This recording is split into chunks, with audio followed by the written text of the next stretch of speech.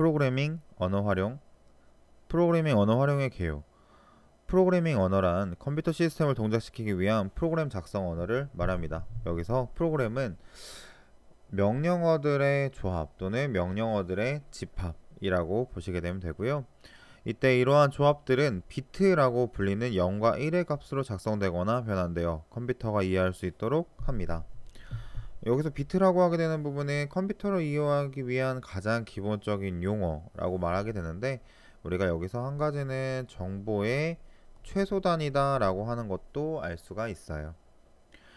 비트라고 하게 되는 부분의 용량으로 따졌을 때 바이트, 킬로바이트, 메가바이트, 기가바이트, 테라바이트, 페타바이트, 엑사바이트 이렇게 있게 되는데 각 항목마다 1024, 곧 2의 10승씩 증가한다라고 보시게 되면 조금 더 계산하기가 쉬울 수 있으세요.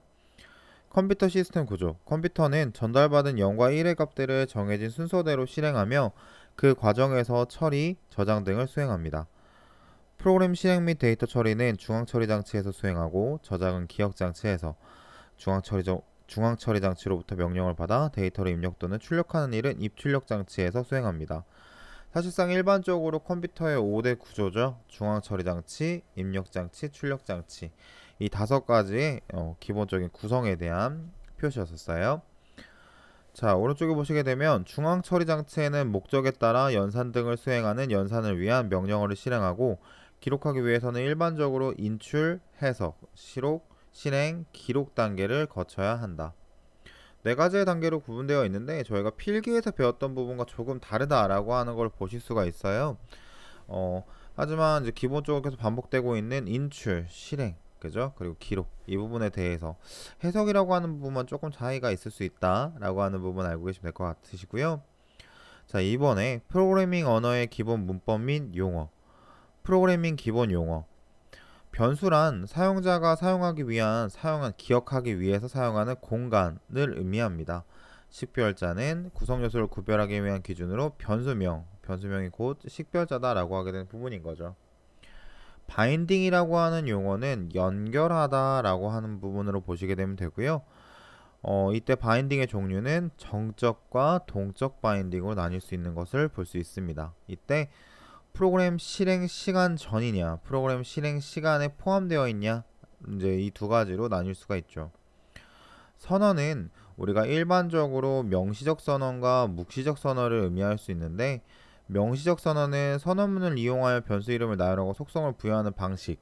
묵시적 선언은 별도의 선언문 없이 디폴트 규칙에 의해서 여기서 디폴트는 기본이라고 하는 걸 보시게 되면 되는데 어, 명시적 선언은 저희가 일반적으로 무언가에 대한 선언을 해주게 되는 부분을 의미하게 되고 묵시적 선언은 이미 지정되어 있는 속성이라고 생각하시게 되면 됩니다.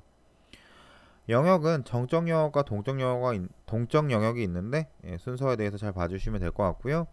할당은 변수의 메모리 공간에 binding하는 작업. binding이라고 하게 되는 부분은 연결과는 조금 차이점을 있을 수가 있습니다. 연결은 직접적으로 변수와 변수에 관련된 속성을 연결하는 과정을 의미하게 되고 변수의 메모리를 binding하는 직접 입력한다 라고 보실 수도 있을 것 같아요. 데이터 타입은 변주, 변수가 가질 수 있는 속성 값들의 길이 및 성질을 의미하게 되고 연산자는 우리가 일반적으로 연산에 대한 모든 포함 다른 말들을 의미하며 명령문은 프로그램을 구성하는 문장으로 지시사항을 처리하는 단위를 의미합니다. 변수와 데이터 변수. 변수는 저장하고자 하는 어떠한 값이 있을 때 그 값을 주기억 장치에 기억하기 위한 공간. 자, 위에서 말했듯이 변수라고 하게 되는 부분은 기억하기 위한 공간을 의미하게 되는 거죠. 실제로 변수라고 하게 되는 부분을 보시게 되었을 때는 저희가 어, 이용하게 되는, 활용하게 되는 명령어들이라고 보실 수도 있으실 것 같아요. 자, 변수 선언의 규칙은 변수는 프로그램 소스 코드의 공유, 유지 관리, 표준화 등을 이용해 일정한 규칙에 따라 작성되고 있습니다. 변수 선언의 대표적인 규칙은 일단 우선 영문의 대문자, 소문자, 대소문자는 구분이 가능합니다. 알 수 있듯이 저희가 일반적인 C 언어에서는 한글로는 지정을 할 수가 없어요. 그리고 숫자와 밑줄, 언더바라고 하죠. 사용이 가능합니다. 첫 번째 자리는 숫자로 시작할 수 없고 변수 이름의 중간에는 공백을 사용할 수 없습니다. 이미 사용하고 있는 예약어는 변수를 사용할 수 없습니다. 어, 이번에 기출문제로도 출제됐었던 문제 중에 하나인데요. 예약어라고 하게 되는 부분은 미리 지정되어 있고 미리 사용되고 있는 명령어들, 이미 사용되고 있는 단어를 의미하고입니다. 대표적으로는 이제 for, short, union, if, character 등 이미 C 언어상에서 사용하고 있었던 명령어들을 예약어라고 보시게 되면 될 것 같아요. 데이터 타입은 변수에 들어갈 값의 특성을 구분하여 그 특성에 맞게 저장할 수 있도록 하는 데이터 속성 값의 길이 및 성질을 의미합니다. 이때 데이터 타입의 유형은 크게 boolean 타입, 문자 타입, 문자 열 타입, 정수 타입, 부동소수점, 실수죠. 그리고 배열에 대한 타입으로 나뉠 수가 있는데 어, boolean 타입은 기본적으로 참과 거짓을 의미하는 데이터 타입을 bool이라고도 하게 됩니다. 그래서 참과 거짓의 값을 가지고 있게 되는 부분을 우리는 boolean이라고 하게 되고요. 문자 하나를 저장할 때는 캐릭터라고 하게 되는 부분을 가장 많이 사용하면 이때 홑따옴표를 쓰게 되는 부분을 보실 수가 있고요. 문자 열을 저장할 때는 이제 string이라고 하게 되는 예약어를 쓰게 되는데 이때 쌍따옴표를 쓰게 됩니다. 어, 현재 문자열이라고 하게 된 타입은 C++과 자바에서 사용하고 C 언어에서는 배열을 이용해서 집어넣는다라고 하는 걸 아실 수가 있으세요. 정수 타입은 정수를 사용하자 정수를 저장하고자 할 때 사용하게 되는 부분인데요. 자바랑 지금 현재 C랑 C++로 구분을 지었습니다. 이때 어, 바이트는 1바이트, 숏은 2바이트, int는 4바이트, long은 8바이트인 자바와 상대적으로 그것보다 저장 공간을 조금 더 잡고 있는 unsigned short, int, unsigned int, long, unsigned long이라고 하게 되는 부분에 바이트 수의 차이에 대해서 한번 확인해 주시는 게 좋을 것 같아요. 어, 바이트 수 말 그대로 이제 용량이라고 보시게 되는데 이 정수 타입에서는 바로 용량이 곧 범위, 해당의 숫자는 범위를 의미하게 됩니다. 어, 간단하게 보시게 되면은 int에 대한 사용 범위와 자바의 int와 음, C 언어의 int가 비슷한 부분을 보실 수가 있는데 잘 보시게 되면 OR로 되어 있는 거 보이시죠? 예, 저희가 상대적인 부분이다 라고 보실 수가 있으실 것 같아요. 부동소수점은 실수값, 실수를 의미하게 됩니다. C 언어에서 대표적으로 float이라고 하는 부분이 있겠죠. 어, 시어 이제 그 다음으로 배열 타입에서는 여러 데이터를 하나로 묶어서 저장하고, 저장하고자 할 때 사용하게 되는 부분이고 C 언어에서는 배열의 공간 크기를 선언하게 되고 자바는 비워둡니다. 어, 실제로 C 언어에서는 이제 사용을 하게 됐을 때 배열의 크기를 의미하게 이제 지정을 해주게 되고요. 자바에서는 이렇게 공백으로 비워두게 됩니다. 서식 지정자는 변수 혹은 값을 출력문을 통해 출력하기 위해서 사용하는 출력문 안에 쓰이게 되는 부분을 의미하게 되는데요. 이때 printf는 문자열만을 출력하며 escape문과 같이 문자열 선을 탈출하여 변수를 인식시키는 것을 서식 지정자라고 하게 됩니다. 어, escape문이라고 하는 부분이 조금 헷갈릴 수 있어가지고 아래쪽에 보시게 되면 어, 역슬러시 n 뭐 저희가 키보드에 따라 틀리지만 이제 원 표시랑 같은 거라고 보시게 되면 되고요. 어, 또는 이제 역슬러시 t라고 하는 부분은 탭 8칸 이제 자유적으로 띄워주게 되는 부분을 의미하게 되는 거죠. 어, 이 부분과 다르게 저희가 일반적으로 출력을 하게 됐을 때 정수형에 대해서는 이제 D, U, O, X 이렇게 10진수와 8진수, 16진수에 대한 부분의 출력이 좀 나뉘게 되어 있고요. 기본적으로 실수도 F를 가장 많이 쓰게 되지만 이 지수에 대한 표현 G 크기나 이제 숫자 값의 크기에 따라서 이제 같이 쓸 수 있는 부분 이렇게 두 가지로 나뉠 수 있다. 문자형에서는 C와 S라고 보시게 되면 되는데 저희가 아까 데이터 타입 유형에서 배웠다시피 문자형에서 C는 캐릭터 단일 문자를 S는 string 문자열을 의미하게 됩니다. 아래쪽에 예를 한번 볼까요? int main이라고 하는 부분에서 캐릭터 넘버 1은 65. 아, 넘버 1이라고 하는 변수에 65라고 하는 정수를 입력하였습니다. 이때 는이라고 하는 거는 대입의 뜻을 의미하게 되는데요. 쉽게 말해서 a는 b라고 하게 되는 이 부분은 저희가 일반적인 수식에서는 a와 b가 같다라고 보시게 되면 되지만 C 언어에서는 a에 b를 입력한다로 보시게 되면 돼요. 저희가 이제 프로그래밍을 하다 보게 되면 이따 뒤에서 조건이라고 하는 부분도 설명을 하겠지만 일반적으로 같다라고 하는 표시는 는이 두 개다 라고 하는 부분 저희가 이렇게 는이 하나일 경우 이퀄이 하나일 경우에는 오른쪽에서 왼쪽으로 집어 넣는다, 대입한다. 저희가 이 부분을 아까 배우셨죠? 할당이라고 하게 됩니다. 중간에 보시게 되면 int 넘버 2에는 2000, 아 정수형으로 2000을 집어넣고요. float 실수죠. 실수로 1.23이라고 하는 부분을 집어넣습니다. 자 출력하는 방법은요. 저희가 printf로 %d, %d 자 아까 보시다시피 넘버 1과 넘버 2는 정수형이었기 때문에 이런 식으로 %d로 출력을 하게 되고 넘버 3이라고 하는 부분은 1.23 실수였었죠. 그래서 F, %F로 출력하시게 되면 이런 식으로 나오게 됩니다. 기본적인 공간에 대한 부분도 알고 계시면 제일 좋을 것 같아요.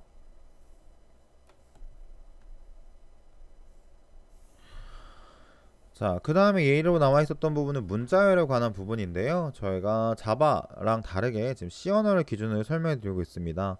C 언어 기반으로 캐릭터 패스. 자, A라고 하는 부분. 일단 제일 중요한 거 뭐죠? 홑따옴표라고 하는 따옴표에서는 단일 문자, 쌍다운표, 큰 다운표는 문자열을 선언할 때 사용하게 됩니다. 현재 캐릭터로 그죠 단일 문자로 선언되어 있기 때문에 저희는 %c라고 하는 부분을 받게 돼요. 실제로 이렇게 입력하게 되면 문자형으로 A가 나오게 됩니다. 그런데 이 문자열을 저희가 만약에 출력을 %D로 출력을 했다면 아스키 코드로 변경되어 있는 부분을 보실 수가 있으세요. 물론 이 부분에 따라서 컴파일러마다 다를 수가 있어요. 여기서 말하는 컴파일러는 프로그램을 실행하고 있는 프로그래밍 언어 프로그램들을 의미합니다. 어, 지금 현재 나와 있었던 이 부분들은 NCS 기반으로 나와 있었던 예제를 기본으로 했다라고 하는 부분을 참고해 주시면 참 좋으실 것 같아요. 자, 3번 연산자입니다. 어, 위에서 말했다시피 이제 연산이라고 하게 되는 부분을 표현하는 기호다라고 하게 되는데요. 어, 저희가 연산이라고 하는 부분을 조금 어렵게 생각하실 필요는 없으시고요. 논리적인 판단과 계산이라고 하는 부분을 포함해서 저희는 연산이라고 보시게 되면 될 것 같아요. 이때 계산이라고 하는 것은 이제 산술 연산을 의미하겠죠. 자, 아래쪽에 보시게 되면 산술 연산자는 더하기, 빼기, 곱하기, 나누기, 그리고 퍼센트 모드라고 하는 부분이 있습니다. 어, 앞서 이제 알고리즘에서 설명했다시피 나머지라고 하는 부분은 모드라고 하는 순서도에서는 모드랑 그죠 퍼센트를 둘 다 쓰지만 저희가 프로그래밍 언어에서는 모드는 쓸 수 없기 때문에 퍼센트로 쓰이게 되는 거죠. 자 보시게 되면 왼쪽과 오른쪽 양쪽의 값을 더하는 더하기 빼기 곱하기 나누기 퍼센트 이렇게 있는 이 부분들이 있는데 사실 이 부분보다 실제로 시험에서 출력됐었던 부분들은 바로 가장 중요한 건 바로 이 산술연산자의 우선순위입니다. 우선순위란 저희가 일반적인 산술 연산에 대해서 같이 한번 설명을 해 드릴 건데요. 수학과 동일하게 됩니다. 이때 우선순위 1순위는 괄호 안에 있는 거, 이때 그 다음에는 곱하기, 나누기, 나머지, 그리고 3에서는 이제 더하기, 빼기로 나뉘어지게 되는데요. 이때 제일 중요한 말은 같은 우선순위 상에서는 왼쪽부터 우선적으로 연산을 한다라고 하게 되는 부분입니다. 한번 볼까요? 저희가 예를 들어서 10 더하기 10 곱하기 10을 하게 된다면 괄호나 이런 부분들이 없는 상태에서 보시게 됐었을 때 오른쪽에 곱하기가 우선순위이므로 자 110이 되겠죠. 근데 여기서 중요한 거는 10 나누기 10 곱하기 10. 자, 어때요? 나누기랑 곱하기는 동일한 우선순위를 갖습니다. 그래서 왼쪽부터 연산이 되기 때문에 10을 10으로 나눈 1과 1 곱하기 10이 돼서 10이 된다라고 하게 된 부분인 거죠. 한번 예제로 다시 한번 보도록 할게요. 자, 리절트 1에는 10 더하기 15, 나머지 4 빼기 20, 나머지 9라고 하게 되어 있습니다. 이 식을 그대로 가져왔을 때 우선순위 상으로 보게 되면 10 더하기 15, 나머지 4 빼기 20, 나머지 9 이렇게 표시하게 되는데 이때 연산순위상으로 가로가 없는데 이런 식으로 계산이 되겠죠. 이렇게 되면 10 더하기 3 빼기 그리고 2 이렇게 계산이 되게 됩니다. 그래서 13에다 2를 빼게 된 리절트 1에는 11이라는 값이 들어가게 되겠네요. 자 아래쪽에 있는 식을 한번 보시게 되면 10 곱하기 15% 4 빼기 20% 9 더하기 5 이렇게 보실 수가 있는데요. 어, 동일한 연산순위상에서는 왼쪽부터 연산이 된다라고 말씀을 드렸어요. 그래서 괄호가 이렇게 10 곱하기 15가 먼저고요. 20% 9가 그 다음이고 마찬가지 이걸 계산한 상태에서 여기가 두 번째로 들어가게 됩니다. 그래서 150을 4로 나눈 나머지가 되기 때문에 50 나누기 4 어, 지금 계산을 해보게 되면 37 자, 2가 남게 되고요. 2 빼기 2 더하기 5 이렇게 계산이 되겠죠? 2랑 2는 사라지게 되니까 5가 남게 돼서 리절트 값에는 5가 나오게 됩니다. 어, 산술연산자 우선순위에 대한 부분은 저희가 프로그래밍 문제나 기출 문제에서 이제 자주 출제되어 있었던 부분 중에 하나인데요. 방금 보시는 것 같이 동일한 우선순위, 동일한 연산 우선순위에서는 왼쪽부터 계산한다라고 하는 부분을 꼭 참고해 주시면 좋으실 것 같아요. 자, 그 다음 이제 문제를 보시게 되면 지금 현재 문제에서 조금 오타가 있어가지고요. 자, 여기 위치 보시게 되면 여기가 16이 아니라 15입니다. 15로 계산해야 되거든요. 자, 시프트에 대한 문제를 보시게 되면 저희 문제 중에서 가장 자주 나왔었던 문제 중에 하나인데 15라고 하게 되는 부분을 3만큼 오른쪽으로 이동하여 그 다음에 4만큼 왼쪽으로 시프트를 해주게 되는 이중 시프트 연산자 문제입니다. 풀이를 보시게 되면 15라고 하게 되는 부분은 우리가 이진수로 바꿨을 때 00001111 자 이때 처음으로 오른쪽 right shift로 세 칸을 이동해 주기 때문에 세 칸을 이동하게 되면 00000001이 되게 됩니다. 이 다음에 다시 또 4칸, 4칸만큼 왼쪽으로 shift 해주기 때문에 0001, 0000이 되겠죠. 자, 이렇게 하게 되면은 이제 10진수를 다시 변환했었을 때 16이라고 하게 되는 부분이 나오게 됩니다. 관계연산자입니다. 두 P연산자 사이의 크기를 비교하는 연산자입니다. 참과 거짓으로 구분하죠. 이때 참이라고 하게 되는 부분 1, 거짓이라고 하는 부분은 0이라는 결과를 출력하게 됩니다. 초과는 크다, 미만은 작다. 이상은 크거나 같다, 작거나 같다는 이하는 두 개, 이퀄 두 개죠. 이거는 같다, 느낌표는 다르다. 순서도와는 다릅니다. 순서도에서 쓰게 되는 이 세 가지, 이 세 가지가 모두 사용이 가능하지만 프로그래밍에서는 느낌표 는만 사용이 가능하게 되고요. 느낌표 하나만 쓰게 되는 부분은 NOT 연산자로 논리값을 역전시켜서 출력하게 됩니다. 예제를 같이 한번 보시도록 할게요. 자, 넘버 1은 10, 넘버 2는 5, 넘버 3은 15, 넘버 4는 7인 상태에서 result 값을 비교하게 되는데요. 여기 살짝 오타가 있어서 자, result 1에는 그래서 10이라고 하는 부분과 5라고 하는 부분을 비교하게 되고요. result 2에는 15라고 하는 부분과 7이라고 하는 부분을 비교하게 됩니다. 상대적이라고 했죠. 자, 10은 5보다 큽니까? 네, 맞죠. 15는 7보다 작습니까? 아니죠. 그래서 result 1에는 참이, result 2에는 거짓이 들어가게 됩니다. 이때 1과 0. 자, 1은 0보다 작나요? 아니죠. 그래서 결과는 어떻게 나오게 되냐면 false 가 나오게 됩니다. 0이라고 하는 부분이 출력이 되겠죠. 자, 관계연산자에서 가장 중요하게 된 부분은 사실상 이 부분들에 대한 상대적으로 비교한다 라고 하는 것보다는 이 표에 나와 있었던 부등호에 대한 표시 10 초과 5, 12 5를 초과하느냐 15 미만 7, 15가 7, 15가 7보다 작냐 이렇게 물어보게 되는 이런 부분을 연습하시는 게 제일 좋으실 것 같아요. 논리 연산자입니다. 두 P 연산자 사이의 논리적인 관계를 정의합니다. 자, and라고 하게 되는 부분은 두 가지의 논리값이 모두 참일 경우 OR 같은 경우에는 논리값 중 하나 또는 하나라도 참일 경우에는 참이 나오게 되는 부분입니다. 이것도 마찬가지로 예제로 한번 같이 한번 보시도록 할 건데요. 넘버 1에는 7, 넘버 2에는 22, 넘버 3에는 4, 넘버 4에는 19가 들어가 있는 상황입니다. 결과 1부터 보시게 되면 지금 현재 넘버 1은 7 그리고 넘버 2에는 22 여기다가 이제 뭐가 들어가냐면 AND가 들어가게 됐어요. 그 다음에 넘버 3에는 4 넘버 4에는 19 이렇게 들어가게 됐죠. 7은 22보다 작으니까 어떻게 돼요? 참. 4는 9보다 크지 않으니까 거짓. 그래서 AND이기 때문에 둘 다 참이 아니므로 결과 1에는 뭐가 들어가잖아요? 0 결과 2를 볼까요? 자, 결과 2에서는 저희가 똑같이 넘버 1을 7이 22, 이제 5R, 넘버 3에서는 4, 그리고 나서 19. 7은 22보다 크지 않죠? 거짓입니다. 자, 4는 19보다 작죠? 참입니다. 이때 5R이기 때문에 둘 중 하나라도 참이게 되면 참을 반환하게 되겠죠. 이때 결과 1에는 거짓이 결과 이해는 참이 나오는 부분도 굉장히 중요하지만 저희가 출력을 하게 됐었을 때는 항상 출력문에 아까 보셨던 설명드렸던 escape문이 굉장히 중요하게 됩니다.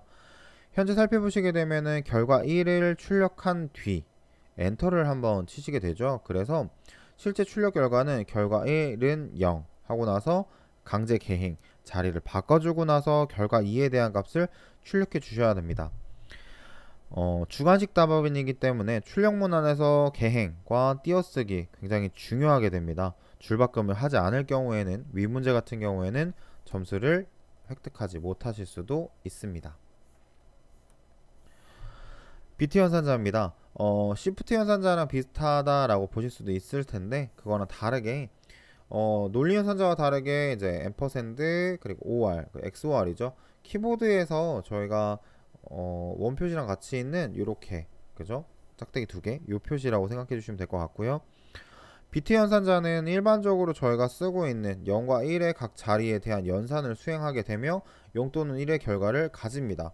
저희가 필기에서 배우셨을 때, 자, 논리기호 중에서 자, AND, 자, OR, 그리고 이제 XOR 이 부분으로 보시게 된다라고 하는 게 가장 생각하기 좀 쉬우세요. 실제로 바로 문제를 한번 가보도록 할게요. 자, 37 and 13. 37와 13. 자, 이렇게 되게 되면 이제 어떤 식으로 들어가게 되냐라고 했었을 때 37이라고 하는 숫자와 지금 현재 일단 우선 13이라고 하는 숫자를 result 1값, result 1값에서는 이제 어떻게 하게 되냐면 AND를 하게 됩니다. AND라고 하게 되는 부분은 둘 다 1일 경우에만 이제 계산이 되겠죠. 그래서 일단 우선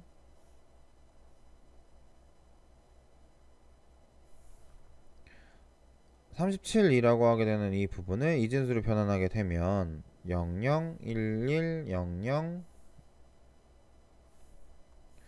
풀이를 보시면 설명 드릴게요.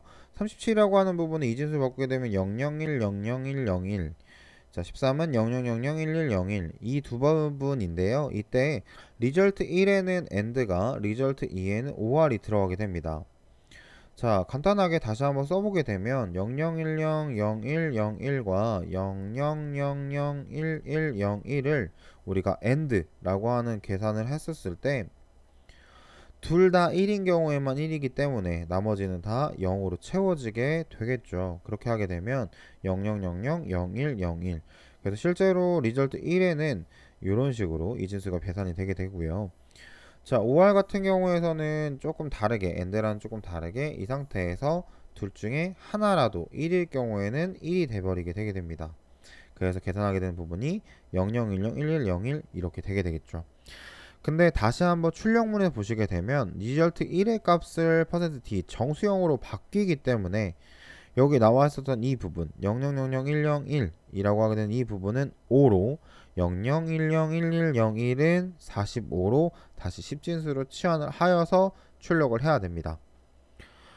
방금 저희가 배웠었던 것처럼 출력하게 되는 부분 안에를 항상 잘 보셔야 된다고 했죠. 제가 지금 여기 동그라미 치게 된 이 부분에 네, escape n 그죠? 강제갱이란 말이 없기 때문에 자 어떻게 되죠? 출력문은 이렇게 한 줄로 나오게 됩니다. 증감 연산자입니다. P 연산자를 일씩 증가시키거나 감소시킬 때 사용하는 연산입니다. 어, 일반적으로 저희가 증감 연산자라고 하게 되면은 이제 이런 모양을 가장 많이 보시게 돼요. 바로 이제 i 플러스 플러스 또는 플러스 플러스 i. 사실상 이 부분은 우리가 여기 나와 있었던 이 부분은 후이 연산자, 이쪽에 나와 있는 부분은 전이 연산자라고 하지만 실제 연산이 되게 되는 부분은 사실상 i는 i 플러스 1이라고 하는 이 부분을 줄여놓은 거나 다름이 없어요. 하지만 이렇게 줄였을 때 플러스의 위치에 따라서 후이 연산, 연산 후 증가하고요. 자, 전이 연산, 증가한 후 연산이 되게 됩니다. 한번 다시 한번 가세히 보게 되면 지금 현재 예제 보시게 되면 둘 다 A랑 B에는 둘 다 5라는 숫자가 들어가 있습니다. 이때 플러스 플러스 A 전이연산자에서는요 증가하고 증가하고 A가 들어가기 때문에 6이 들어가게 되고 마이너스 B에서도 마찬가지 어떻게 해요? 증가하고 B가 가기 때문에 여기서는 감소죠. 그래서 4가 감소되게 되게 됩니다. 후이연산 내에서는 이제 이 부분에 대한 비교를 한번 해줄 수가 있는데 A에서 일단 5가 먼저 들어간 후 원래 5였기 때문에요. 증가돼서 6.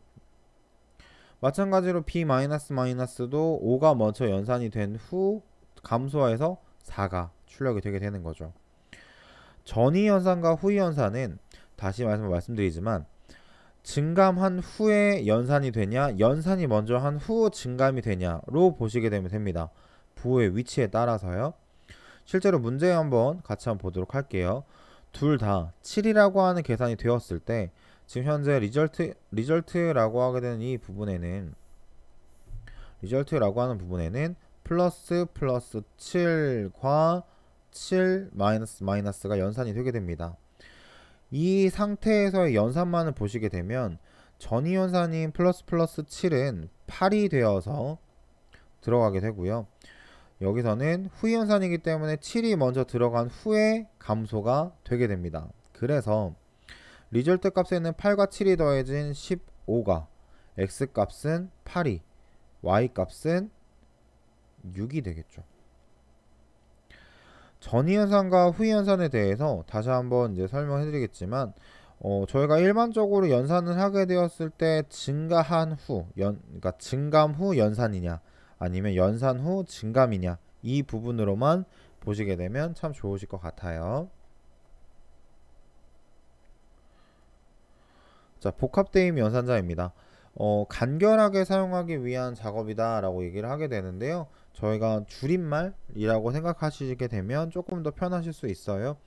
자, 플러스는 지금 현재 보시는 것처럼 a는 a 플러스 2를 자, 마이너스는 a 마이너스 a는 a 마이너스 2를 곱하기 2는 a는 a 곱하기 2를 나누기 는 a는 a 나누기 2를 a 퍼센트 2는 a a 퍼센트 2 모드라고 하는 나머지가 들어가게 되겠죠.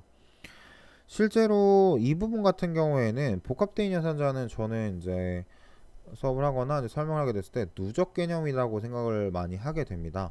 실제로 그 개념 안에 그 글자 안에 연산 안에 증가 를 하거나 감소를 하거나 이런 부분이 계속 연속적으로 발생을 하게 된다라고 하게 되는 거죠.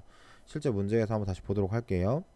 자, 넘버 1은 13이라고 하는 부분이 있습니다. 이때 넘버 플러스는 1이다 라고 하게 되는 부분은 넘버는 넘버 플러스 1이겠죠. 그래서 13 더하기 1을 해서 14가 14라고 하는 부분에서 2를 빼서 12가 12에서 곱하기 3을 해서 36이 36을 4로 나누어서 9가 9를 5로 나눈 나머지라고 해서 4가 남게 되는 거죠. 실제로 나와 있는 복합대인 연산자는 연속적인 계산을 쓰게 될 때 가장 많이 쓰게 됩니다. 사막 연산자입니다. 저희가 엑셀에서의 if와 같은데요. 조건, 물음표 true, 그리고 이제 콜론이 들어가게 됩니다. 일반적으로 조건에 대한 부분, 그리고 참에 대한 부분, 그리고 거짓에 대한 부분을 하게 되는데요. 조건이 맞았을 경우에는 참을, 조건이 맞지 않았을 경우에는 거짓이 실행되는 구조기 때문에 그 부분들에 대해서 잘 봐주시면 좋을 것 같아요. 자, 예제를 한번 보면서 설명해 드리도록 할게요. 이때 int a에는 10 그리고 int b에는 3이 들어가 있는 상황입니다. 자, 이때 리절트라고 하게 되는 부분은 이제 글자 문자로 되어 있는데요. 보시게 되면 이런 식으로 자, 풀어서 한번 써볼까요? 12, 3보다 크면 a를 출력하고 그렇지 않을 경우에는 b를 출력한다. 조건 참, 거짓. 자, 이렇게 해서 보게 되면은 10은 3보다 크죠? 그래서 A가 출력이 되게 됩니다. 그래서 정답 출력은 result A입니다. 다시 한번 저희가 주관식으로 출력을 하기 때문에 출력문 잘 보셔야 돼요. 여기 만약에 result 는이 없었다면 그냥 A만 출력하면 되는 거지만 여기 지금 현재 출력하는 문 안에 result라는 말이 나왔죠. 그래서 실제로 정답에서도 리절트 A라고 하는 모든 부분을 다 작성해 주셔야만 합니다. 자, 진법 문제입니다. 프로그램에서 기본적으로 10진법 형태의 숫자를 사용하지만 다른 진법으로 표현이 가능하기 때문에 그 부분에 대한 설명인데요. 어, 각각 이제 프로그램들마다 저희가 어, 입력하는 방법과 출력하는 방법이 틀려서요. 잘 보시게 되면 시언어에서 입력할 때는 숫자 0, B, 8진법은 숫자 0, 16진법은 0x를 출력할 때는 %d, %o, %x 이렇게 표시를 하게 됩니다. 파이썬에서는 이제 이진수랑 시언어랑 좀 같은 부분이 이제 보이시긴 하지만 여기 보시게 되면 8진법이 조금 다르다라고 하는 걸 알 수 있고요. 두 번째로 출력하게 되었을 때도 명령어가 조금 다르게 됩니다. 자바에서도 조금 비슷하긴 하지만 이제 완전 조금 네, 출력하게 되는 부분, 형, 부분에 대한 형식이 좀 다르죠. 어, 저희가 정보 처리기에서 필기를 문제를 풀게 됐을 때는 중요한 점은 외워서 명령어들을 푼다기보다는 기존에 만들어져 있는 명령문 안에서 어, 문제가 어떤 식으로 이제 구성이 되어 있는지 음, 외워서 한다기보다는 예, 이해하는 부분이 더 많이 필요하게 됩니다. 실제로 한번 문제를 보게 되면서 보시게 될 건데요. 자 여기 지금 이제 보시게 되면 0b입니다 이진수로 입력을 했네요 이진수 11010이라고 하는 부분을 입력을 하게 된 부분이고 출력할 때는 10진수 8진수 16진수로 출력을 하게 되죠 11010이라고 하게 된 부분은 이진수로 입력을 했기 때문에 정답은 10진수 26 이거를 8진수로 하게 되면 32 16진수는 1a가 되게 됩니다. 마찬가지로 파이썬에서는요 넘버 30이라고 하는 부분을 이제 입력하고 출력을 하게 되는데요. 잘 보시게 되면 입력하는 방식이 C 언어랑 그죠? 조금 다르다는 것을 보실 수가 있어요. 자 bin, oct, hex 이라고 해서 입력을 해서 실제로 출력되게 됐었을 때는 네, 출력 부분이 이런 식으로 나오게 되는 부분을 볼 수가 있습니다 자바에서도 지금 이제 100이라는 숫자를 이제 binary 이진수, octo 8진수, hex, 16진수로 저희가 출력하게 되는 부분을 볼 수가 있네요. 그래서 이런 식으로 출력이 되게 되겠죠. 여기서도 이제 간단하게 print line이라고 해서요. 자바도 출력을 지금 현재 한 줄씩 출력을 하고 있습니다. 다음은 명령문입니다. 프로그램을 구성하는 문장으로 지시사항을 처리하는 단위입니다. 뭐 대표적으로는 조건문, 반복문 등이 있는데요. 기본적인 문법들의 종류가 매우 많은 것은 아니기 때문에 각 언어마다 유사한 문법 체계를 사용하고 있습니다. 자 일단 우선 조건문부터 보시도록 할 건데요. 조건문은 이제 if, if else문 그리고 스위치 케이스문 요 이제 세 가지로 볼 수가 있는데 if문은 저희가 방금 이제 사막연산자와 같은 형식으로 어 여기 오른쪽에 보시게 되면 조건에 대한 부분이 맞았을 경우에는 아래쪽 그렇지 않은 경우에는 else인데요. 저희가 뭐 다른 조건이 나올 수도 있기 때문에 그럴 때는 이제 else if를 작성하게 됩니다. 파이썬에서는 조금 다른데요. 형식이 예, 조건이라고 하게 되는 부분을 가로 안에 쓰는 부분이 아니고 그죠? 구성을 저희가 중괄호나 이런 부분으로 표시하지 않는 부분이 나오게 되게 됩니다. 어, 여기 설명에도 나왔다시피 파이썬에서 if 부분과 아래 부분을 들여쓰기가 없다면 오류가 발생하기 때문에 자, 이 부분에서는 들여쓰기가 꼭 필요하다라고 하는 부분을 보실 수가 있죠. 예제로 한번 보시도록 할게요. 자, num이라고 하는 부분은 3이 입력된 상황에서 그죠? if num 3은 5보다 큽니까? 크지 않죠? 여기는 출력이 되지 않고요. 그러면 3은 3보다 크거나 같습니까? 아, 네, 맞죠. 그래서 printf 영진이라고 하는 부분이 출력되고 끝나게 됩니다. 여기 아래쪽에 있는 부분 출력하지가 않죠. 자, if문을 하게 됐을 때 가장 중요하게 생각하게 되는 부분은 저희가 조건이 맞았을 때, 맞지 않았을 때, 강제적으로 조건이 맞게 되면은 아래쪽은 실행되지 않고 출력한다 라고 하는 부분을 같이 봐주시면 좋을 것 같아요. 자, switch case문입니다. If문은 산술 또는 논리적 비교가 가능하지만 switch case문은 조건이 동일한지 여부만 확인합니다. 동일한 것에 대한 여부를 확인하게 되는데요.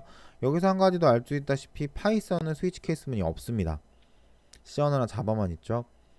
스위치 변수의 값을 case의 값과 일치했을 때 아래쪽에 실행을 해주고 그렇지 않은 경우 자 if에서의 else와 같은 경우죠. 그 경우를 default로 구분을 짓습니다. 케이스 조건은 콜론으로 구분을 하며 break로 처리를 종료합니다. 자, 이 부분은 네. break문 같은 경우에는 continue문과 같이 이제 반복문을 탈출하냐 아니 반복문을 다시 넘겨서 실행하냐라고 하게 되는 부분인 건데 일단 우선 switch case문에서 break문이 있을 경우에는 그 구문 실행문을 출력하고 출력이 이제 탈출이 되지만 이 부분이 없다면 끝까지 출행, 출력이 모두 실행이 되게 됩니다. 자, 한번 같이 브레이크문에 대한 유무에 대해서 한번 보도록 할게요. 자, 스위치문 넘이라고 해가지고 변수 값을 입력을 받았죠. 변수가 만약에 1이라고 하게 된다면 printf 2라고 하게 된다면 여기 있는 두 번째를 3이라고 한다면 세 번째 거를 그렇지 않을 경우 디폴트로 출력하게 됩니다. 지금 저희는 1이 입력됐기 때문에 1, 케이스는 1 이쪽으로 들어오겠죠. 그래서 1이라고 하는 게 바로 출력되는 게 아니라 1에서 2를 더한 값, 즉 몇이죠? 3이 출력이 됩니다. 그 다음에 브레이크 문, 그러면 어떻게 된다고요? 스위치 케이스 문을 나가게 됩니다. 구문의 종료가 아닌 사실상 간단하게 이제 설명을 한번 해 보게 되면요. 반복문이나 조건문 안에서 저희가 이렇게 중괄호가 이렇게 있고 메인문 안에서 중괄호가 이렇게 있다면 브레이크문이 하게 되는 역할은 해당하게 된 반복문을 이런 식으로 탈출하게 되는 부분을 의미하게 됩니다. 구문의 명령어의 실행의 끝이 아니라 반복문의 탈출이라고 하시게 되면 될 것 같아요. 이때 지금 현재 예제 1번에서는 브레이크문이 있었었는데 예제 2번은 똑같은 문제지만 잘 보시게 되면 브레이크문이 아예 없죠. 이렇게 될 경우에는 넘버 1일 때 케이스 1로 가시게 돼서 3이 출력이 되고 그 다음에 내려왔을 때 1에다가 1을 더한 2가 출력이 되게 됩니다. 아래쪽으로 내려가게 되죠. 자, 이 부분에 대한 문제에서도 이제 함정이 있었던 이유 중에 하나가 바로 뭐냐면 저희가 아까 이제 복합대입 연산자에서는 num은 num 플러스 2라고 하였다면 1에서 2가 더해진 값인 3이 들어가서 num이 3으로 바뀌었죠. 하지만 이 부분에서는 num은 그대로 있고 연산만 되고 있습니다. 그래서 이거는 생각하실 필요가 없고요. 두 번째는 케이스 밑에 break문이 없다 보니까 3이 출력된 후에 다시 어떻게 해요? 엔터 쳐서 1과 1을 더한 2가 다시 또 1에서 3을 더한 4가 그리고 나서 1이 이렇게 구문이 끝날 때까지 출력되는 부분을 확인하실 수가 있습니다. 스위치 케이스문 뿐만 아니라 이프문에서도 브레이크 그리고 반복문에서도 브레이크나 컨티뉴는 많이 쓰이게 되는데 어, 브레이크문에 대한 부분은 이따 뒤쪽에서 조금 더 자세하게 설명을 해드리도록 할게요. 반복문입니다. 반복문은 특정 부분을 조건이 만족할 때까지 실행하도록 하는 명령문으로요. while문, for문 두 while문이 있습니다. 각각의 특징들은요. 포문의 시작과 종료 조건을 지정하여 참인 동안에 해당 문장을 반복해서 실행하게 됩니다. 이때 포문 안에서 기준값을 먼저 줄 수 있기 때문에 예, 다른 쪽 위쪽이나 아래쪽에 선언하지 않고 나서 저희가 실행이 가능하다. while문은 수식이 거짓이 될 때까지 해당 문장을 반복해서 실행하게 됩니다. 이래서 while문 안에서는 증감문이 안에 실행문 안에 포함되어 있어야 합니다. 두 while문의 while문과 동일하지만 조건이 부합하지 않더라도 한 번은 무조건 반복하게 된다라고 하게 되는 부분을 저희가 확인할 수가 있죠. 실제 예제로 한번 같이 보도록 할게요. 자, 1부터 10까지 합을 구하게 되는 포문, while문, 두 while문입니다. 이때 잘 보시게 되면 포문부터 한번 설명을 해보게 되면요. i는 1부터 i가 10보다 작은 동안에 i가 1씩 증가하며 합계를 구하게 되는 부분을 볼 수가 있습니다. 그럼 이제 1부터 10까지 증가되게 되면서 1부터 10까지 더해져서 이 구문을 탈출하게 됐을 땐 i는 몇이요? 11이 된다 라고 하는 것도 알 수 있겠죠. Y문에서는요, 썸은 0부터 시작을 하게 되는데 i는 1이라고 하는 부분이 있습니다. 어, 포문과 조금 다른 부분이 바로 뭐죠? 선언을 위쪽에서 해주셔야 됩니다. 왜요? Y문 안에는 조건밖에 없으니까. 두 번째, 반복문 포문에서는 증감문이 포문 안에 들어가지만 자 Y는 구문 안에 들어간다 라고 하게 되는 부분 요것도 확인해 주시면 제일 좋을 것 같아요. 마찬가지죠. 1부터 계산하여 10까지 증가하게 되면서 합계를 구하게 되는 부분입니다. 마찬가지로 i도 지금 현재 11이 되게 되면 이제 출력이 되게 되겠죠. 두 while문은요. while문을 살짝 아래쪽으로 내려주게 되는 부분. 자, 이렇게 구성이 되어 있기 때문에 조건을 마지막에 확인하기 때문에 조건에 부합하지 않더라도 딱 한 번은 실행이 가능하다 라고 하게 되는 부분입니다. 어, 뭐, 지금까지 나오진 않았었지만, 지금까지 기출문제에서 함정 문제가 굉장히 많이 나왔었어요. 예를 들어서, 지금 제가 방금 설명드렸었던 이 부분들이죠. 어, 현재 여기 포문에서는, 포문상에서는 아무 문제가 없는 부분입니다. 왜 그러냐면, i는 1이라고 하게 되는 시작값이 선언이 돼 있으니까요. 하지만, 여기서 만약에 i는 1이라고 하는 부분이 없고 그냥 i라고만 있게 된다면 아래쪽 구문은 i의 실행이 되지가 않습니다. 변수가 아무것도 없으니까요. 자, i라고 하게 되는 선언하게 되는 이 부분들, 이 두 가지 부분은요. 저희가 0이 절대 아닙니다. 예, 너 값이 없음. 널 값이 돼 버리게 되죠. 그래서 전혀 아무것도 실행되지 않는다라고 하는 부분을 꼭 기억해 주시는 게 제일 중요하실 것 같아요. 자, 제어문입니다. 브레이크문과 컨티뉴문이죠. 아까 설명했다시피 해당 반복문 또는 선출 이제 조건문을 탈출합니다. 컨티뉴는 반복문을 유지합니다. 하지만 반복문을 건너뜁니다. 어, 컨티뉴는 계속하기 때문에 어 이거 계속 돌아가요. 이렇게 보실 수가 있는데 실제 문제를 보시게 되면 자, 폼은 i는 5부터 0까지 1씩 감소하게 되게 되면서 이제 문제가 실행하게 됩니다. 이때 이 부분에 지금 현재 모드 2 그래서 짝수일 경우에 만약에 브레이크라는 경우와 컨티뉴를 하는 경우다라고 하게 된 부분인 건데요. 일단 우선적으로 브레이크문을 하게 됐을 경우. 자 5라고 하는 부분이 들어갔을 때 if 조건을 만족하지 않아서 5가 출력이 되겠죠. 출력. 그 다음 1이 감소돼서 4가 되게 되는데 4는 지금 현재 어 일어난 나머지 0이 돼버려서 브레이크 어떻게 해요? 여기를 탈출하게 됩니다. 그러면 지금 현재 출력은 되지가 않았죠. 그래서 얘는 되지 않고 여기서 명령어가 끝나게 됩니다. 하지만 continue를 했을 경우인데요 continue를 했을 경우에는 지금 현재 5부터 시작을 했을 때 5라고 하게 되는 부분은 자 2에 if 조건문에 부합하지 않아서 5가 출력이 되고 그 다음 어떻게 되죠? 4가 됩니다. 어 4는 지금 현재 2로 나눈 나머지 0이 되네요. 자 continue일 경우 어떻게 한다고요? 여기를 위로 올라간다고 생각하시면 돼요. 그럼 4는 출력이 되지 않고 몇이 돼요? 3이 되죠. 자 3은 지금 현재 조건문에 추합하지 않기 때문에 3이 출력이 되고 마찬가지로 2 어, 조건문에 부합하네요. 자, 1. 이런 식으로 계산을 하게 됩니다. 자, 컨티뉴에 대한 방향에 대해서 제가 꼭 한번 설명해 드리고 싶었었는데 브레이크문은 해당 반복문에 대해서 반복문이나 조건문에 대해서 아래쪽으로 컨티뉴는 아래 구문을 시작하지 않고 반복문으로 돌아간다 라고 봐주시게 되면 좋으실 것 같아요. 자, 그 다음에 제어문인 이제 밤, 함수입니다. 함수는 반복적인 코드의 사용을 방지하기 위하여 하나의 항을 만들어서 해당하게 됩니다. 어, 저희한테 가장 많이 이제 물어보는 것들 중에 하나인데, 어, 메인문과 함수문이 있다면 어떤 것부터 실행을 하나요? 어디서부터 시작해야 되는지 모르겠어요. 라고 하시는데, 자, 지금 현재 예제를 보시게 되면 함수 명의라고 하는 부분이 들어가게 되고, 리턴가. 마찬가지로 여기서도 int function이라고 하는 부분과 이제 main문이 들어가게 되는데, 실제로 예시에서 보시게 되면 항상 모든 프로그램은 main문이 먼저입니다. main문에서 function 1, 2라고 하는 부분이 호출을 해서 실행을 하고 함수를 실행하게 된 부분이 이제 이런 식으로 호출이다 라고 생각하시면 될 것 같아요. 일반적인 프로그래밍은 왼쪽에서 오른쪽으로 진행한 후 위에서 아래로 내려오지만 내려오다가 함수가 들어갔을 때는 자 함수 쪽 부분으로 호출 올라간다 라고 생각해 주시면 될 것 같아요. 그런데 이제 지금까지 기출문제에 나왔었던 문제 중에서 함정 문제가 바로 어떤 문제가 나왔었냐면 자 여기 지금 현재 예제 1번과 예제 2번 두 가지의 문제가 있습니다. 잘 보시게 되면 둘 다 함수를 호출하는 프로그래밍인데요. 10이라고 하는 부분이 들어갔을 때 넘버에다가 10. 자, 넘버 10을 어디다가요? 호출해 줬습니다. 넘버라는 함수를요. 동일하게 오른쪽에는 예제 2번에도 10이라고 하는 부분과 함수를 실행해 줬습니다. 넘버라는 함수를요.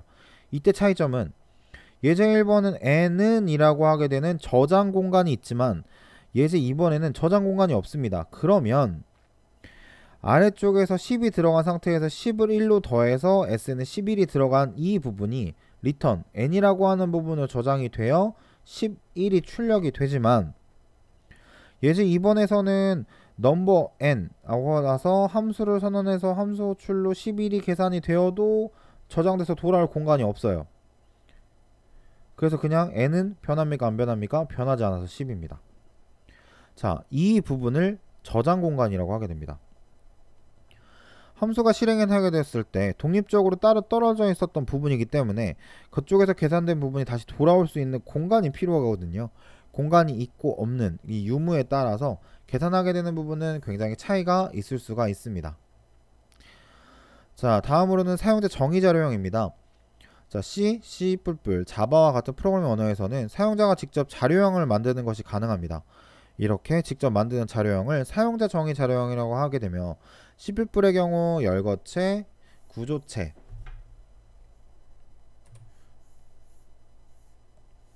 잠시만요.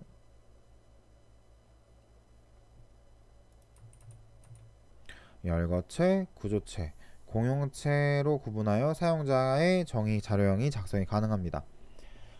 이때 열거체란 가로 안에 연속적인 값이 들어가는 자료형입니다. 특정 값을 넣어주지 않으면 일씩 늘어나기 때문에 상수별이라고도 하게 됩니다.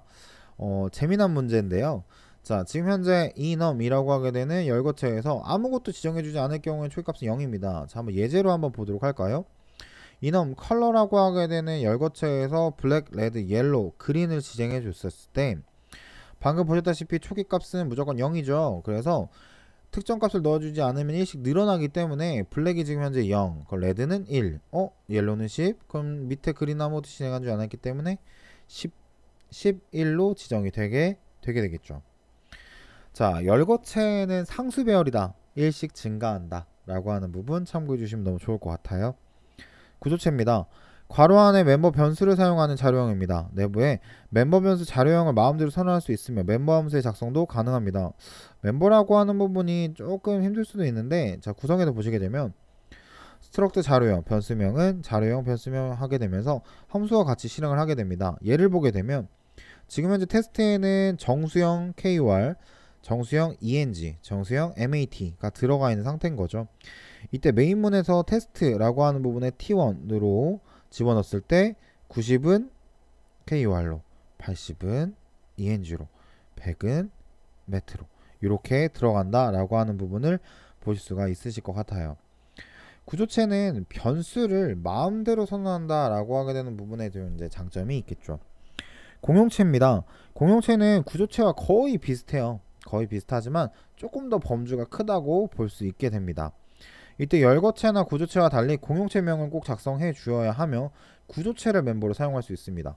자 이때 유니온이라고 하게 되는 부분을 저희가 사용하고 있는 부분을 보실 수가 있겠죠. 어, 쓰임새에 따라서는 거의 구조체와 비, 이제 비슷하게 됩니다. 이때 공용체는 구조체와 달리 메모리 공간을 공유하여 크기를 작게 사용하므로 인베디나 통신 분야, 그죠? 특정 하나의 전문적인 분야에서 많이 쓰인다라고 하게 된 부분인 거죠. 열거체, 구조체, 공용체 사실 자주 보게 되는 부분은 아닌데요. 시작하게 되는 부분들에 대한 이 세 가지 부분을 좀 참고해 주시면 좋을 것 같아요.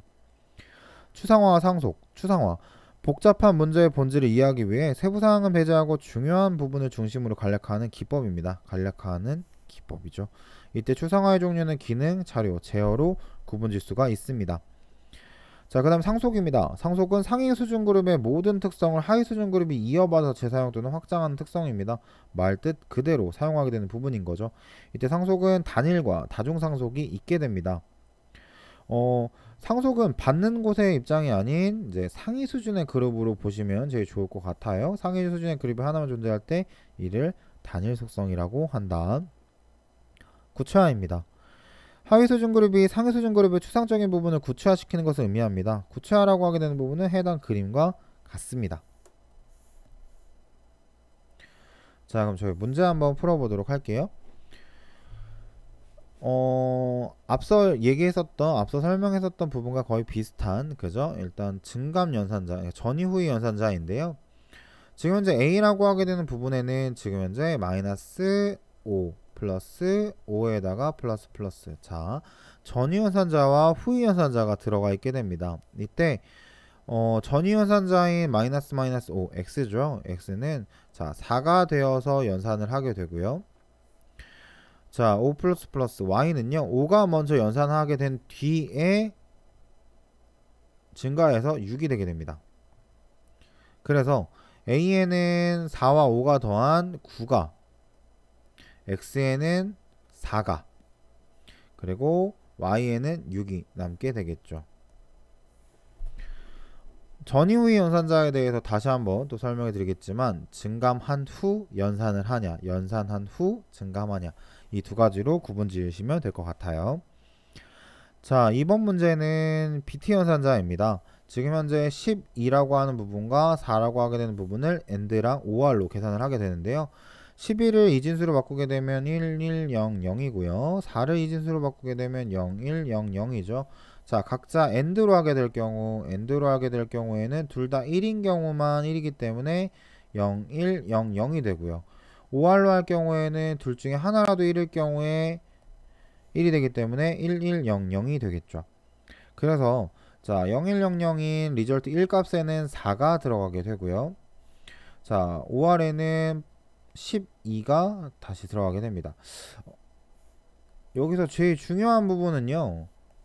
출력하게 되는 부분입니다. 바로 printf가 두 번 들어가게 되는데 지금 현재 첫 번째 result 1을 출력할 때는 강제개행 n이 들어가게 되고 result 2에는 없었죠. 그래서 4를 출력한 후 강제개행 enter를 쳐주고 나서 12가 출력이 되게 됩니다.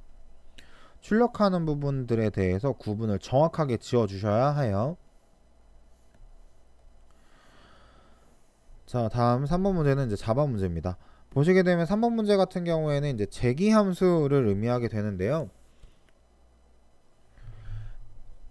제기 함수란 함수 안에서 자기 자신을 다시 호출하여 해당 구문을 재수행하는 함수를 의미하게 됩니다.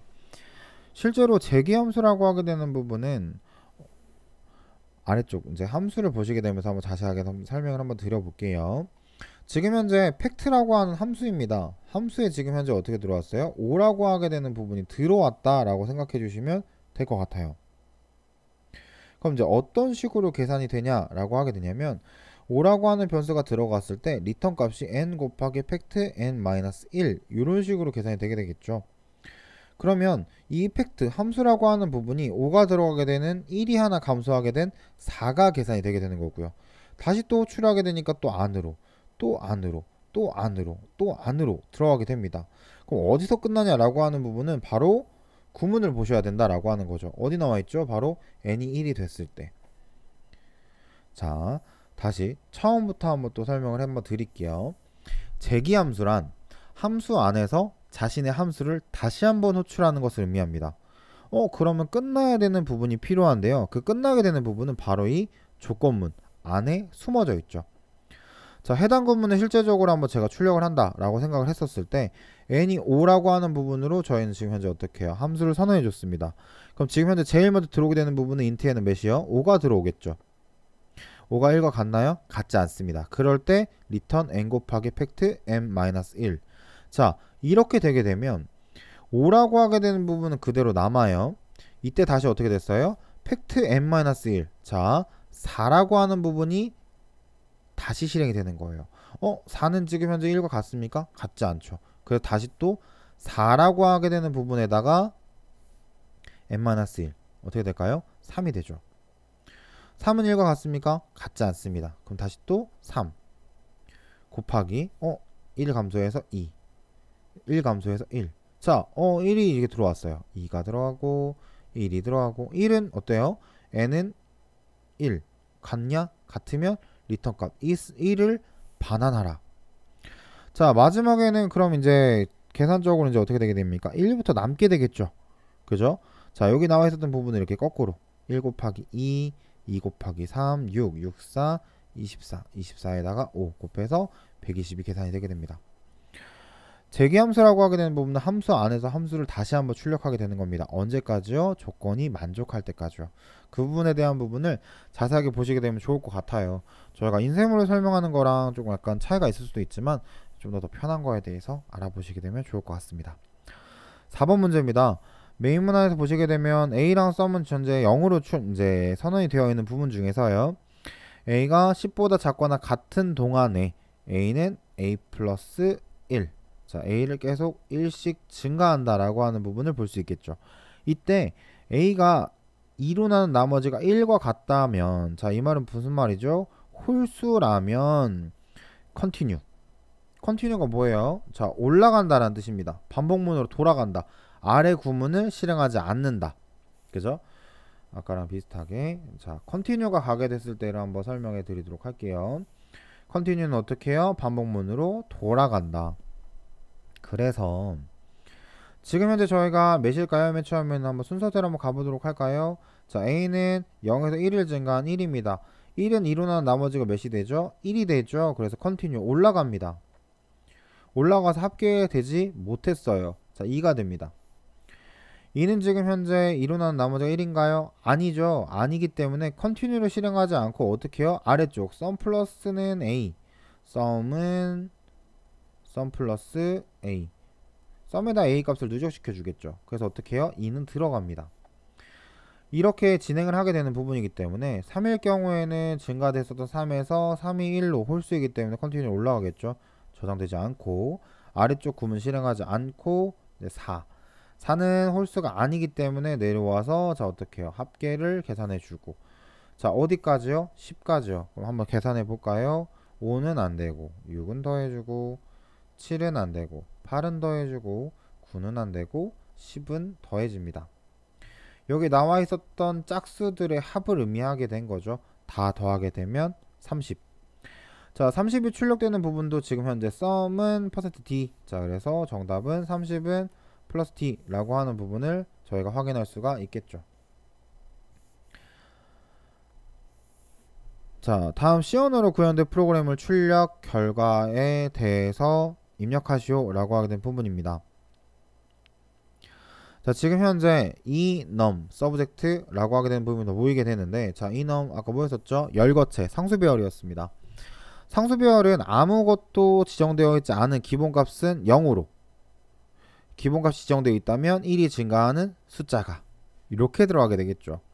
그래서 지금 현재 잘 보시게 되면 KUK 9기죠. 여기는 0이 들어가고요. ENG 뭐가 들어갑니까? 6이 들어갑니다. 그래서 출력을 하게 될 경우에는 자 여기 지금 출력 나와 있었던 부분처럼 A는 0 출력하고 엔터 치시고 B는 6 이렇게 형식이 나오게 되는 거죠.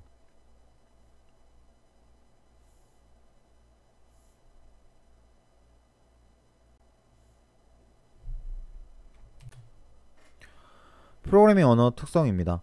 자, 프로그래밍 언어의 발전 과정은 1960년대 이전, 60년대, 70년대, 80년대, 90년대 이후로 나눠지게 되는데요. 실제로 등장했었던 시기를 먼저 한번 봐주시게 되면 되게 좋을 것 같아요. 뭐 어셈블리, 포트란, 코볼, C, 그리고 이제 C++, 파이썬, 자바, C샵. 각각 언어별 특성들이 있습니다. 한번 자세하게 보도록 할게요. 포트란은 1954년 초기 버전이 개발된 언어이고요. 시스템 의존적이고 프로그램 작성 위해서는 컴퓨터 시스템 관련 지식이 많이 필요하다. 자, 전문 지식이 많이 필요한 그죠? 조금 약간 예, 좀 어려운 언어였다라고 하는 부분 알 수 있겠죠. 코볼입니다. 1960년대 미국 국방성에 의해서 개발되었습니다. 단순한 입출력 구현 시에도 많은 형식적인 문장이 필요하면 비교적 프로그램 크기가 크고 구문이 복잡합니다. 크기가 크고 구문이 복잡합니다. 순차적 방식의 언어로 웹 응용 프로그램과 쉽게 통합할 수 있다는 장점은 있습니다. 자료 구조의 선언 부분과 프로그램의 실행 부분을 분리하였고 포트란과 마찬가지로 대문자만 작성이 됩니다. 여기서 할 수 있는 건 포트란과 코볼은 대문자로만 작성된다 라고 하는 부분인 거죠. 자, 다음 파스칼입니다. 71년도에 개발되어 80년대 말까지 많이 쓰인 언어입니다. 잘 짜인 구조와 간결성으로 인해서 프로그램 언어로는 성공하였으나 분리 컴파일과 문자열의 적절한 처리 등을 제공하지는 못하였다라고 하게 되는 단점이 있네요. 사용자 정의 추상화 기능은 제공하지만 은닉 기능이 없어 현대의 프로그래밍 기법을 적용하기에는 다소 부족하다는 단점이 있습니다. 다음은요. 자, C입니다. 1972년에 개발된 언어로 유닉스 운영체제 구현에 사용되는 언어입니다. 자, 유닉스 범용 언어로 개발되었으나 문법의 간결성, 효율적 실행, 효과적인 포인터 타입 제공 등의 특징으로 인해 가장 많이 사용되는 시스템 프로그래밍 언어가 되었습니다. 자, 이때 C 언어를 발전시킨 언어가 바로 이 C++인데요. 자, 상속 등을 클래스 상속 등을 제공하는 객체 지향 프로그래밍 언어입니다. 어, C 언어의 객체 지향 언어화 되었다 라고 보시게 되면 좋을 것 같아요. 대형 프로젝트 수행 시 모든 별 분리가 가능하여 개발과 유지 관리에 적합합니다. 다음은 자바인데요.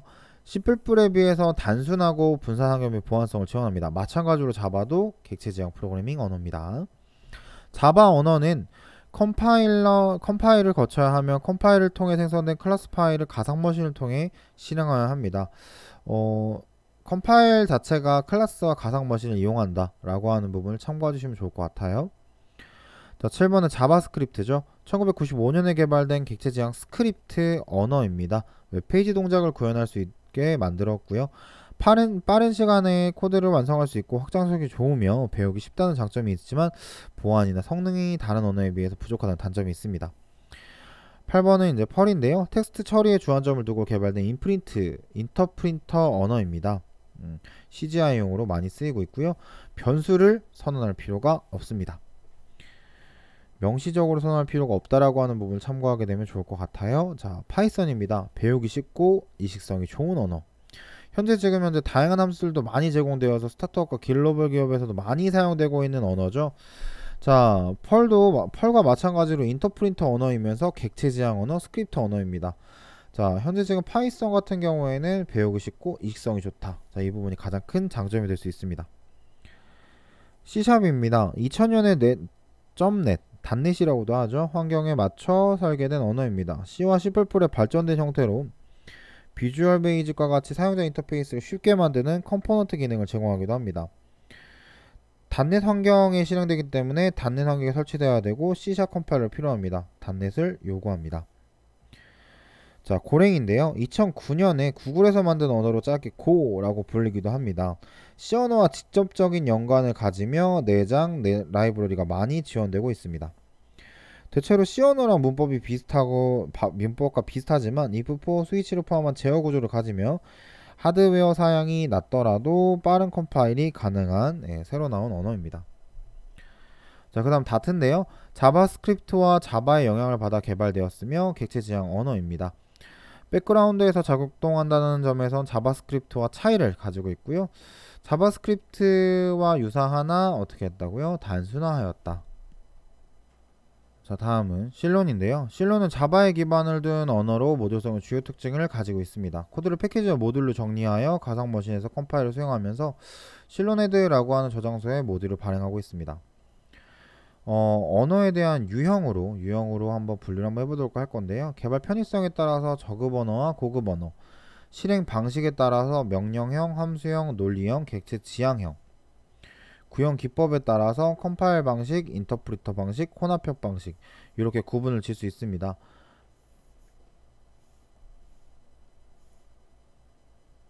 자 문제 한번 보도록 할게요. 자 다음 중 1990년대 이후로 개발된 프로그래밍 언어가 아닌 것을 골라서 쓰시오 라고 하게 되는데요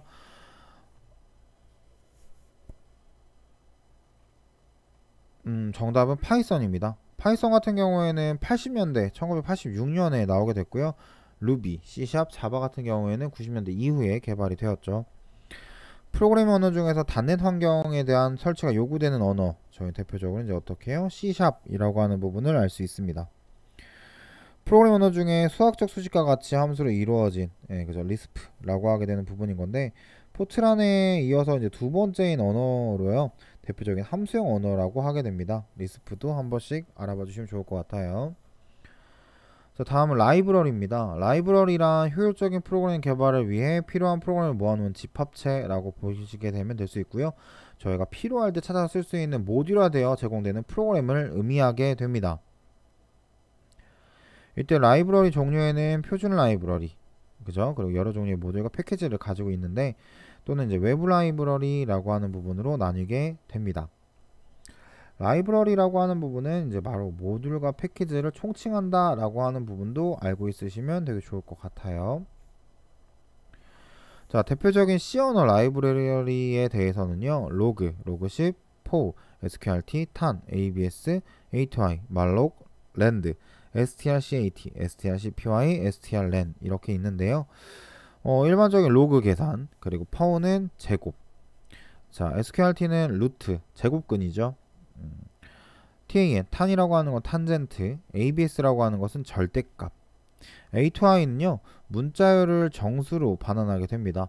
특정 어, 특정 숫자와 문자가 섞여 있는 문자열들의 안에서의 숫자는 문자로 보시기 때문에 그 부분을 정수로 바꿀 때 쓰게 되고요. 몰록이라고 하는 부분은 동적 메모리를 할당을 난수는 랜드 음. 글자를 연결하는 것은 strcat 글자열을 복사할 때는 strcpy 글자의 길이 문자열의 글자 수 글자 수를 보게 될 경우에는 strlen이라고 하는 부분을 알 수 있죠 문제 봐보도록 할게요 다음은 C 언어로 구성된 1부터 10까지의 난수라고 하게 됐죠. 난수를 쓰기 위한 라이브러리는 rand였습니다. 자, rand를 쓰기 위해서 std 라이브러리 헤더 파일을 가져 가져오게 된 것을 알 수가 있죠. 이때 rand라고 하는 부분은 그냥 rand라고 쓰셔도 되고 아니면 괄호 쓰셔도 무방합니다. 자, 이번 문제 같은 경우에는 Java로 구현된 프로그램을 분석하여 결과를 한번 계산해 보도록 할 건데요. 이때 지금 현재 Math sqrt 25. 자, 25라고 하게 되는 부분이 어떻게 됐죠? 제곱근 루트가 씌워져 있죠. 그리고 로그 10입니다. 자, 로그 10이라고 하게 되는 이 부분은 저희가 로그 문제가 나와서 아시겠지만 2가 되고요. 25 같은 경우에는 5가 되겠죠. 그래서 5랑 2를 더하게 된 7이라고 하게 되는 부분이 계산이 되게 됩니다.